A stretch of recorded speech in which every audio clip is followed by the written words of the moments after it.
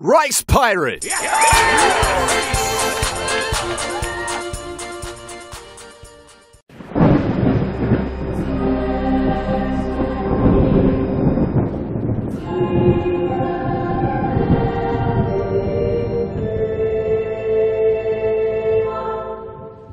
What is a man but a mortal dog that feeds on the rancid scraps of hope and drinks the spoiled wine of self importance? Self importance, the pathetic flame of a crippling candle, blown by the mighty wind.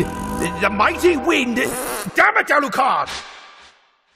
Blown by the mighty wind of a ruthless storm, howling, thunderous destruction. Alucard! What is a man? For the love of your mother, stop making those ridiculous sounds with your mouth! Get back out! Dear God, boy! What have you been eating? Don't you see, Father? You've fallen right into my trap.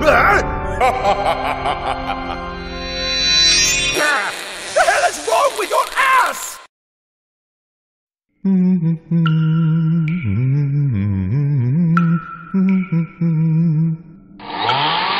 Mmm, so nasty.